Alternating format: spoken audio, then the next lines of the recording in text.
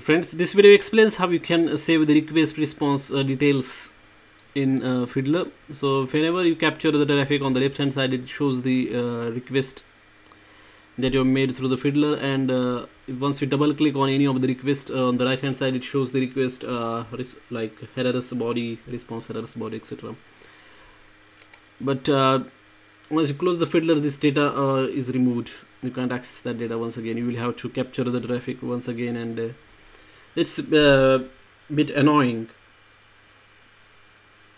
so the solution is that once you get the capture the traffic you can save all this data by going to the file and then clicking on save. Here you can click save all sessions.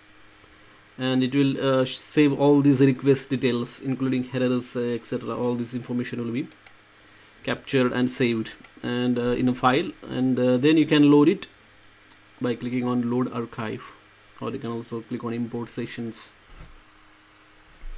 So that's how you can uh, save the sessions. Uh, now once you capture the uh, this uh, requests let us say you want to remove that or clear these requests. So what you can do is just uh, press ctrl a or command a. Once select all these requests and then press ctrl x or command x so uh, once you do that all these requests will be removed. Sessions cleared. Thanks for watching this video